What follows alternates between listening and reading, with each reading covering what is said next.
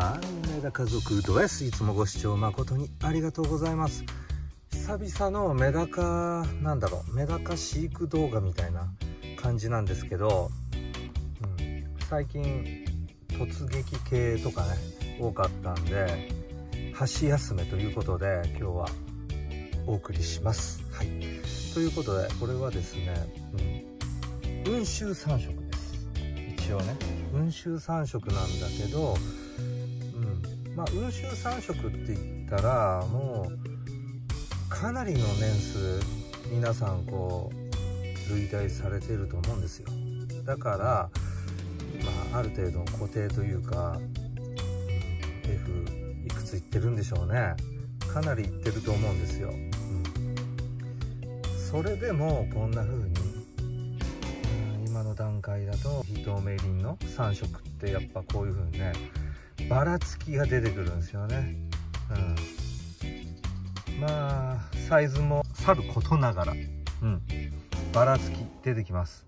で柄がめちゃめちゃばらつき出ます。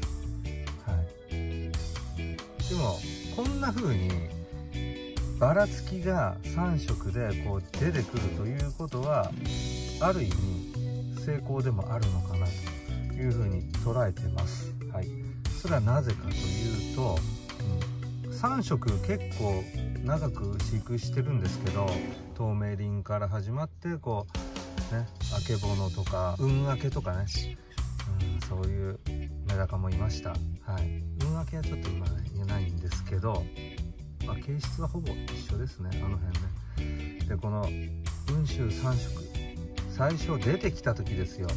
うん。何年前でしたかね。ちょっと忘れましたがかなり、うん、昔ですね。その時に思ったこと。一番最初に見た時ね。あーこれみゆきかかってんなって。思ったんですそれなぜかというとヒレの縁に光が乗ってたっていうのとあと背骨のラインずっと見てると光がやっぱり青白く乗ってた。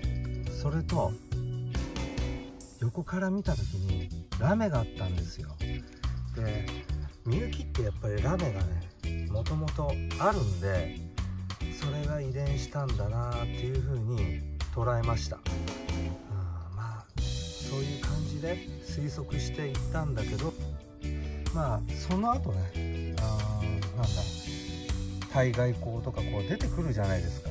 あれは新たに掛け合わせたっていうのはもしかしたらあるかもしれないですけど勇気とかをね対外光を乗せるためにっていうのであるかもしれないですけど出てきたんじゃないかなというふうにそれもまた推測されるわけです。はい。どうでしょう。推理がどこまで合ってるかわかんないですけどなのでなんだろう。何をかけたのかな？ちょっとわかんないですけどもともとがね。もしかすると容器費と例えばねうん入気をかけて作ったとかそういうことがねあったのかもしれない。それはねちょっとわかんないですけどね、うんまあ、なんかちょっと違うような気もするけど。はい。まあまあまあそういう風な感じで、うん、メダカって掛け合わせた後に完成した時にそれでも何を掛け合わせたのかなっていう考える。それもまた面白いんじゃないかなと思いますね、うん、大体あの新しいメダカができちゃうとこれ何掛け合わせたんですかっていう風にやっぱ聞きますよねみんなね。まあそんなんもいいんですけど自分で大体こう見てあこれとこれがかかってんのかなっていう風に考えるっていうのも面白いかと思います。はいどうでしょう？今日の動画は雲州3色この成長もね見ていただいて、うん、こんだけばらつき出るとまあみんなこれは言われるんですけど羽がめっちゃめちゃ出てきます。はい。跳ねるメダカっていうのが出てきます。はい、好みでね残していくっていうのもあるんだけど、ま、そういういろんなね、うん、要素が絡んでくるんで選別っていうのはそういうのもまた考えながらやっていってください。ではこの辺で。ドローンしますメダ家族どうでした？ぴよよン。